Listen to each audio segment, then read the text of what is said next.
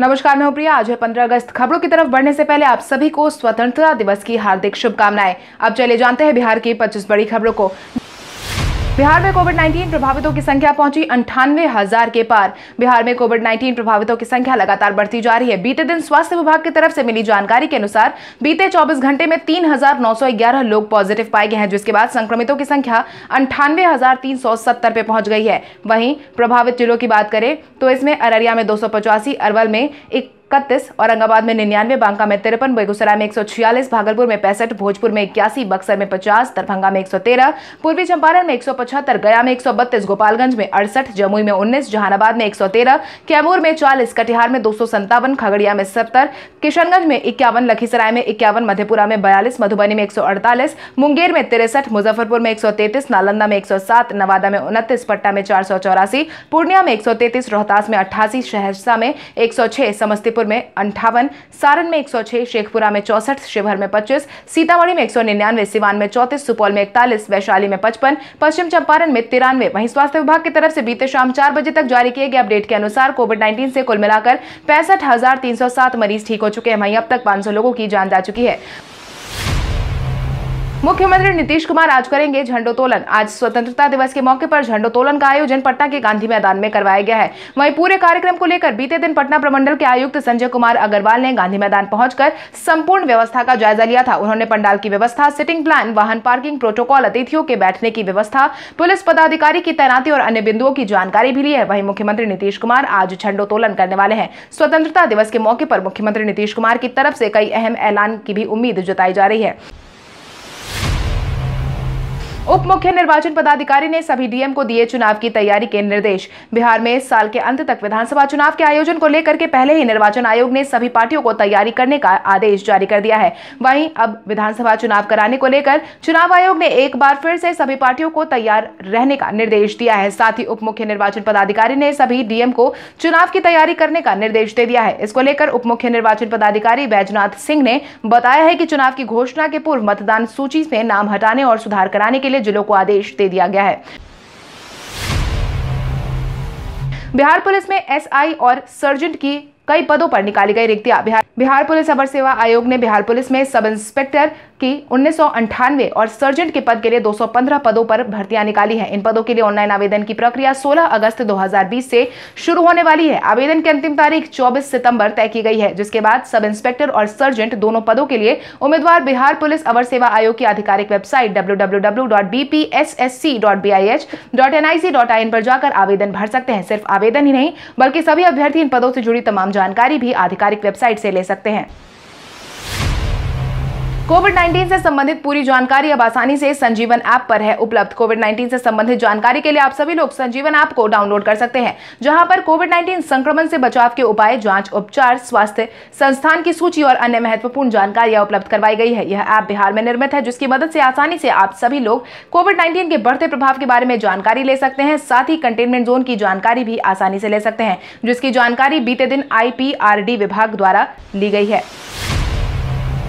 राबड़ी देवी के लिए विधान परिषद की सदस्यता छोड़ने वाले पूर्व एमएलसी की गई जान। एक समय पर राबड़ी देवी के लिए विधान परिषद की सदस्यता छोड़ने वाले पूर्व एमएलसी ने कोविड 19 की वजह से दुनिया को अलविदा कह दिया है। आपको बता दें, बिहार विधान परिषद के पूर्व सदस्य और सत्ताधारी जदयू के प्रदेश महासचिव रविन्द्र तांती को कोविड नाइन्टीन की वजह से जान चली गई है। वो दस दिन तक कोविड नाइन्टीन से संक्रमित थे और एम्स में लगातार उनका इलाज करवाया जा रहा था। पिछले नौ दिनों से उन्हें वेंटिलेटर सपोर्ट पर रखा गया था। वहीं बीते दिन दोपहर में उन्होंने अंतिम सांस ली।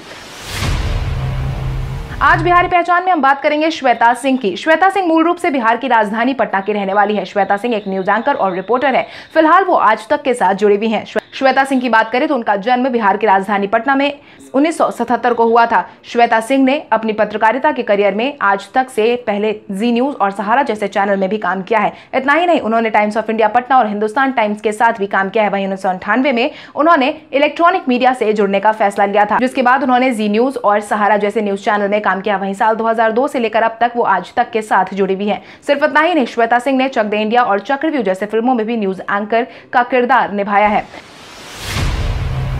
छोटे मैदानों में इस बार नहीं होगी चुनावी सभा की छूट। विधानसभा चुनाव में इस बार उम्मीदवारों को अपने क्षेत्र के किसी भी सामान्य मैदान में चुनावी सभा करवाने की इजाज़त नहीं दी जाएगी। कोविड 19 के माहौल को देखते हुए चुनावी सभा के लिए प्रत्येक ज़िले में मैदानों की सूची तैयार की जा रही है। चुनाव आयोग से अधिसूचित मैदान में ही चुनाव प्रचार कार्यक्रम या सभा की अनुमति दी जा सकेगी, जिससे कोविड नाइन्टीन के बढ़ते संक्रमण की संभावना को रोका जा सके। आयोग ने सभी जिलों से उपलब्ध मैदान की क्षमता और रकबा के संबंध में रिपोर्ट तलब की है। कोविड नाइन्टीन संक्रमण को ध्यान में रखते हुए चुनाव आयोग ने यह निर्णय लिया है।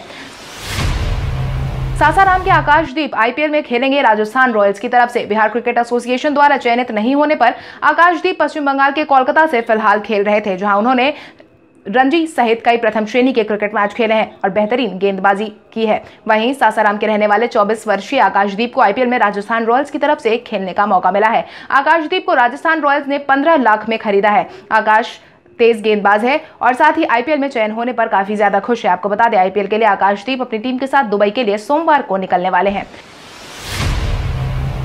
नए ईवीएम मशीन में 348 प्रत्याशियों के नाम पर चुनाव चिन्ह को किया जा सकता है फ़ीड। बिहार विधानसभा चुनाव में इस बार पूरे बिहार में M3 मॉडल के ईवीएम का इस्तेमाल का प्रस्ताव जारी किया गया है। इस मॉडल के ईवीएम के संचालन के लिए अधिकारियों और कर्मचारियों को प्रशिक्षण दिया जा रहा है। पुरानी ईवीएम मशीन में जहाँ अधिकतम चौसठ प्रत्याशियों के नाम और चुनाव चिन्ह फ़ीड हो सकते थे, इस नई ईवीएम मशीन में तीन सौ अड़तालीस प्रत्याशियों के नाम और चुनाव चिन्ह फ़ीड किए जा सकते हैं। नए ईवीएम की एक और खास बात यह है कि ईवीएम बैलेट यूनिट या वीवीपैट में से किसी भी गड़बड़ी आने पर इसकी सूचना सीधे पीठासीन पदाधिकारियों को भेज देगा।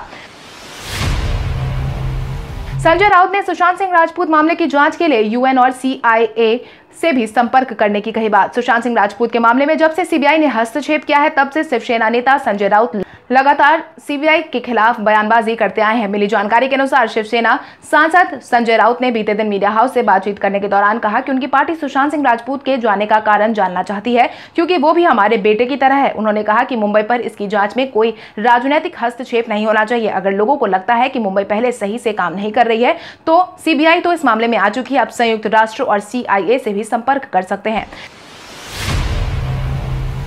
किसानों के आय को बढ़ाने के लिए रेलवे की तरफ़ से चलाए गए स्पेशल ट्रेन अब करेगी दूध की सप्लाई किसानों की आय में बढ़ोतरी करने के लिए भारतीय रेलवे की तरफ़ से चलाए गए स्पेशल ट्रेन से अब दूध की सप्लाई भी की जाएगी। मिली जानकारी के अनुसार बिहार के बरौनी से झारखंड के टाटानगर के बीच भारतीय रेल द्वारा किसान स्पेशल ट्रेन का परिचालन वितरण करवाया गया था। स्पेशल ट्रेन में दूध के चार टैंकर रखे गए थे, जिनमें से एक एक टैंकर बोकारो और स्टील सिटी और हटिया के लिए भेजा जाएगा, जबकि दो टैंकर दूध टाटानगर के लिए भेजा गया है। दूध के परिवहन के लिए इस किसान स्पेशल ट्रेन का परिचालन बरौनी से टाटानगर के बीच बीच एक दिन छोड़कर किया जाएगा। स्पेशल ट्रेन में दूध के चार टैंकर रखे जाएँगे।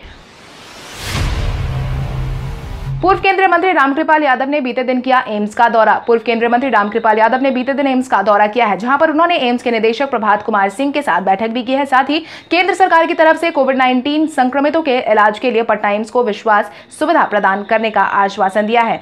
आपको बता दें कि पटना एम्स में अब तक 2000 से ज़्यादा कोविड 19 संक्रमित मरीज़ आ चुके हैं, जहाँ पर रिकवरी दर अठहत्तर फ़ीसदी है, जो राष्ट्रीय स्तर के रिकवरी दर से ज़्यादा है। मिली जानकारी के अनुसार पीपी किट पहनकर सांसद ने कोविड 19 वार्डो का दौरा किया, साथ ही भर्ती मरीजों से प्रशासन द्वारा इलाज की व्यवस्थाओं के संबंध में भी पूछताछ की है।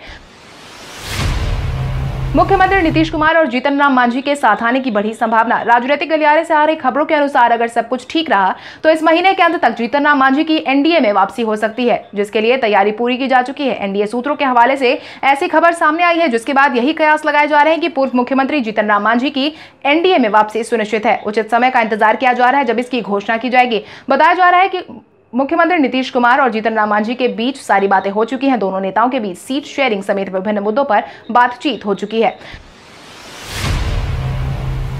पप्पू यादव ने मुख्यमंत्री बनने के अटकलों से किया इनकार। बिहार में बाढ़ से लगभग 77 लाख से ज़्यादा लोग प्रभावित हैं। लोगों के बीच में अफरा तफरी का माहौल साफ़ तौर पर देखने को मिल रहा है। वहीं अब जाप प्रमुख पप्पू यादव ने प्रभावितों की मदद के लिए लगे हुए हैं। वहीं इस दौरान उन्होंने मीडिया से बातचीत करने के दौरान मुख्यमंत्री पद का दावेदार बनने के अटकलों से साफ़ इनकार किया है। उन्होंने कहा कि सभी राजनीतिक पार्टियों ने मिथिला को ठगा है। सपने दिखाए हैं, लेकिन पूरा नहीं किया है। मुझे किसी पद का लोभ नहीं है। मैं मुख्यमंत्री नहीं बनना चाहता। मेरा सिर्फ़ उद्देश्य बिहार और बिहारी को बचाने का है। मेरा उद्देश्य तीस साल बनाम तीन साल का है। मैं तीन साल में बिहार को एशिया का नंबर वन राज्य बनाऊँगा।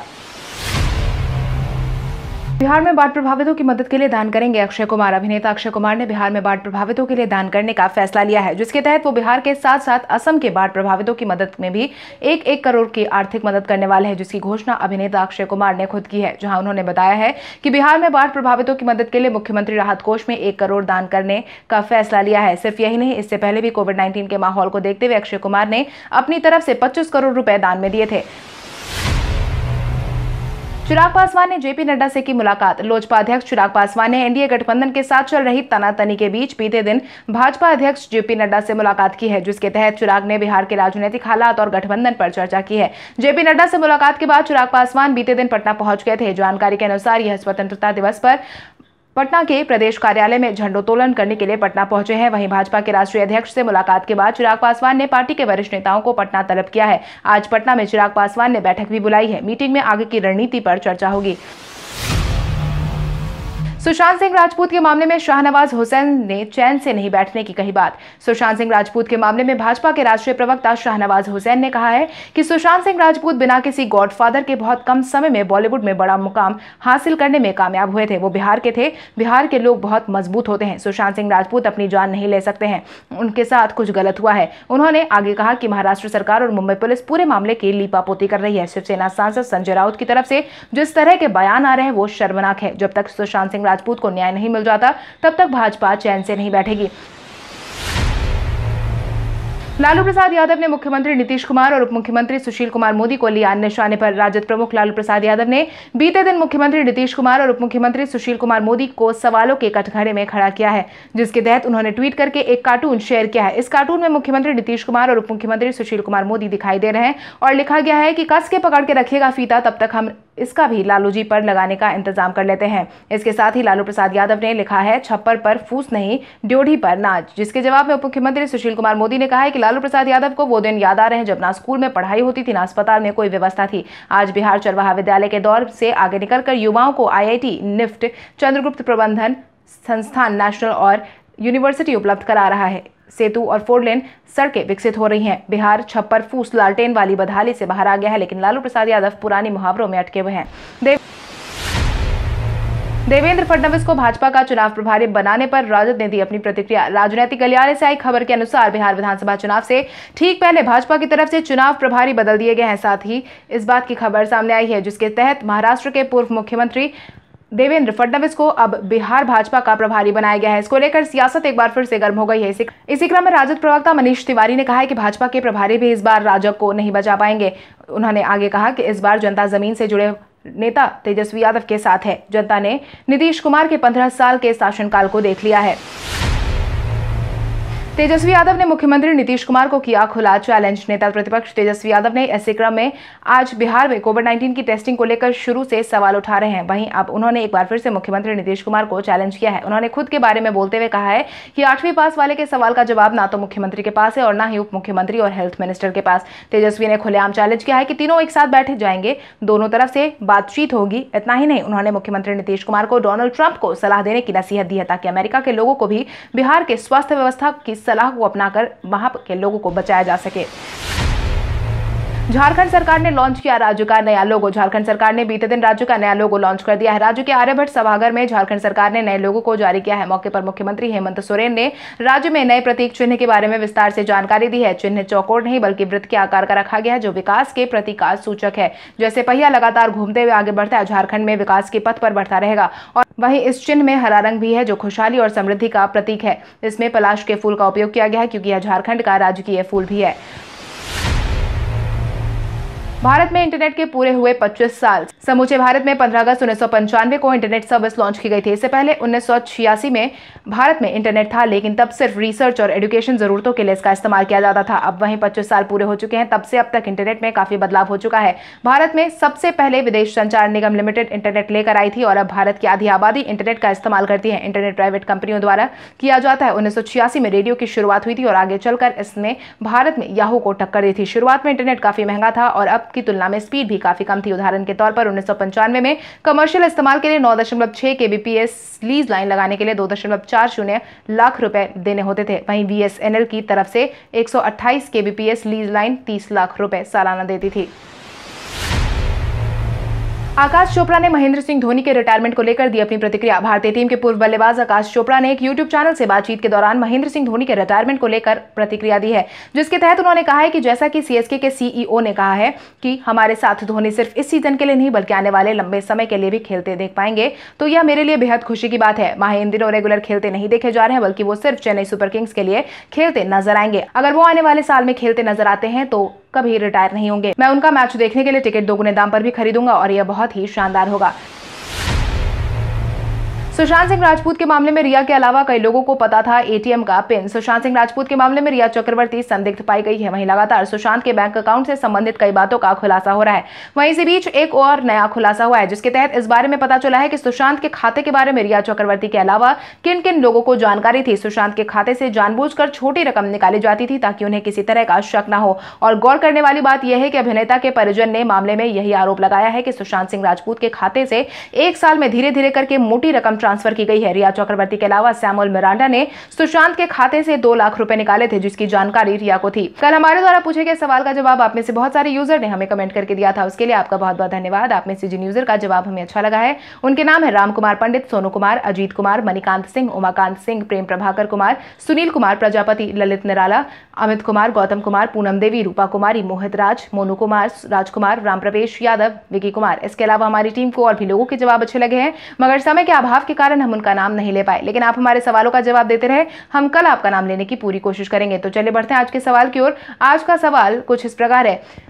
वर्तमान स्थिति को देखते हुए आपको क्या लगता है कि जीतन राम मांझी जदयू का दामन थाम लेंगे या नहीं? अपने जवाब हमें कमेंट करके ज़रूर बताएँ। इसके साथ ही आज के लिए बस इतना ही। अगर आप ये वीडियो हमारा यूट्यूब पर देख रहे हैं तो हमारे चैनल को सब्सक्राइब करें और बेलाइकॉन दबाना ना भूलें। और अगर आप ये वीडियो हमारा फेसबुक पर देख रहे हैं तो इस वीडियो को लाइक करें और ज़्यादा से ज़्यादा शेयर करें। धन्यवाद।